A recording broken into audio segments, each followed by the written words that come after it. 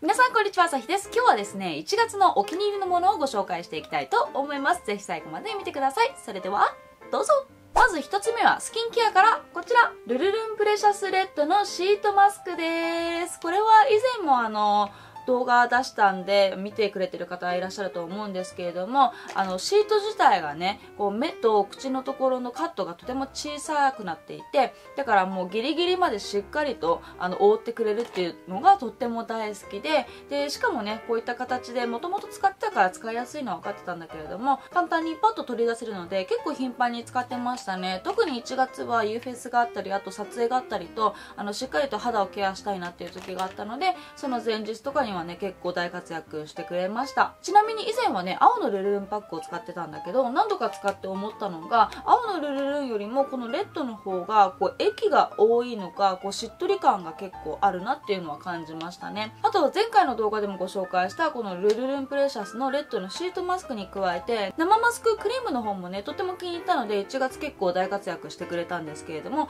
やっぱりシートマスクの方が結構頻繁に使ってたなって気がしたので今回の1月のお気に入りにはここちらをねランクインさせてみました。続いてはこちらです。アディクションのザ・アイシャドウ30番のリゴレットというカラーになります。これ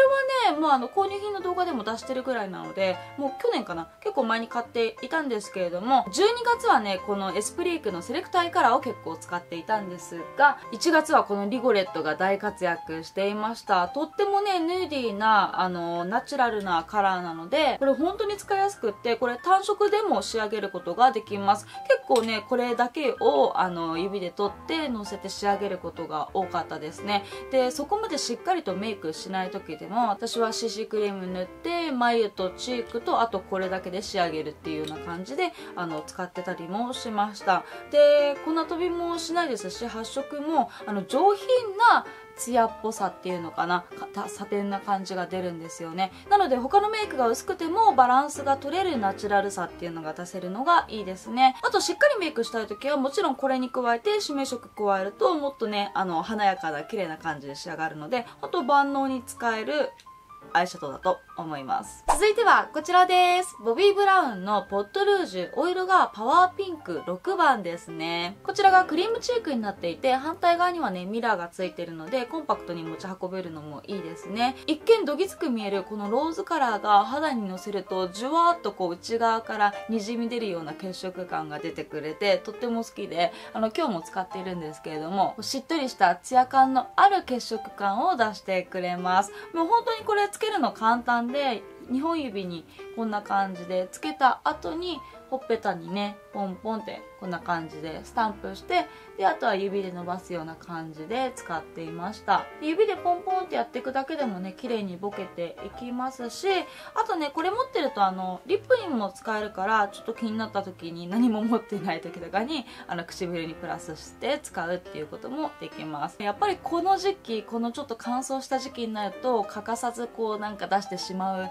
ぐらい結構昔から好きなクリームチークです。続いてはこちらです。えー、柔らか保湿ほんのり温感のマスクですね。こちらがですね冷たい外気から顔を優しく守ってくれてこうつけてることでこの自分の呼吸の湿気によってちょっと温感効果があったりとか結構ねあのこれなんですけどね。分厚いんだけどこれ自体は。でも全然苦しくなくってでなんか肌触りもいいし本当にほんのりなんかちょっと温かい感じになってくれるからこうマスクしててもねこう気持ちよくつけれたんですよね。そんなにこのマスクにこだわりとか全然なかったんですけれどもこれはあの風邪ひいた時にマネージャーさんがねあの送ってくれたやつに入ってたマスクで大きさはねやや小さめサイズっていうことなので女性の顔にちょうどいいのかなっていうサイズになっていてで5枚入りでここがねあのピーって止めれるタイプの袋になってるのであの1個ずつビニールで包装されてるっていうよりかはこのままこんな感じで出るような感じになってますね。この耳のところとかもね特に痛いって感じることもないですしなんか今まで使ってたやつが結構ね苦しいって感じてなんかちょっとねあの外で歩いたりするとあのこうずらしてつけたりとかしてたんですよ苦しくて。でもこれだと結構ねつけててもそんな風に感じなくあのつけれたのでやっぱマスクって違うんだな。ちゃんとこだわったらこだわっただけなんかいいんだなっていうのをねあの初めて感じられたマスクになります。これから花粉も飛び出す時期になると思うのでいろんなマスクをね試したいなと思います。続いてはこちらです。一度ねビログで紹介したことあるんですけれども確か内股でダイエットみたいな名前の内股に挟んでこうやって締め付けてもものね内側を鍛える健康器具っていうのかなダイエット器具になります。こちらも動画上げてるので見ていただければと思うんですけれどもで私がこれを使う時はこうやって撮影している時とかあとは動画編集をしている時にですね椅子に座りながらこうやって足に挟むんですけれどもこう力を入れればねあのしっかりと内ももに効く感じもありますしあとは私あの座ってる時に足を組む癖があるからそれをどうにかしたいなっていうふうに思ってなんかこれを力を入れなくてもただ足と足の間に挟んでるっていうだけでこう足を組む防止にもなるなと思って結構編集してる時とかって長い時間椅子に座ったままなのでながらでね体の歪みとかも改善できたらいいなと思って使っていてで結構習慣化できるようになったので、まあ、これいいかなっていうふうに思って。でまあこれをねわざわざ買わなくても多分ねペットボトルとか何でもいいと思うんだけどそれをこう内股にこう挟んでおく。落とさないようにするっていうようなあのちょっと気を張った感じにしておくだけでもいいのかなとは思ったりするけどこのなんかねフィット感がねここが結構ねしっかりとあの内ももにフィットしてくれるのでそれもまた続けられている理由なのかなとは思いますね。そして最後はお菓子になります。それがこちらです。セゾンファクトリーのチョコいちごです。いちごのチョコレートってみんながね想像する感じだとまあねこうピンク色のチョコレートだったりとかあとあのドライいちごにこうホワイトチョコレートがコーティングされてるのとかあったりするじゃないですか。違うの。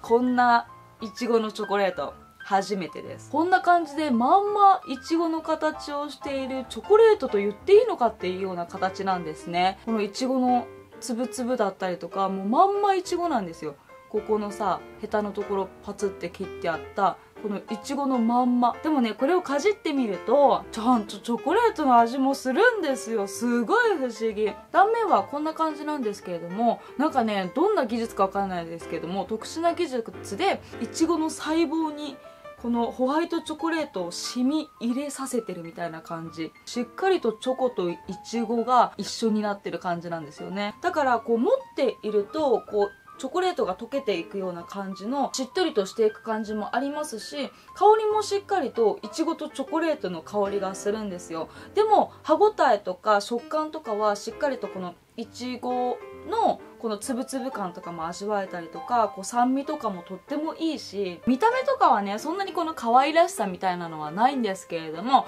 味は抜群です。本当にこれ美味しい。このサイズで確かね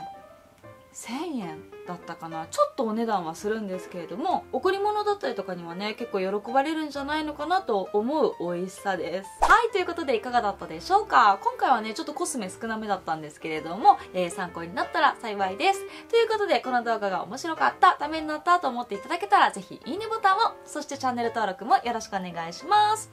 それでは最後まで見ていただいてありがとうございました。また次の動画で会いましょう。じゃあねー。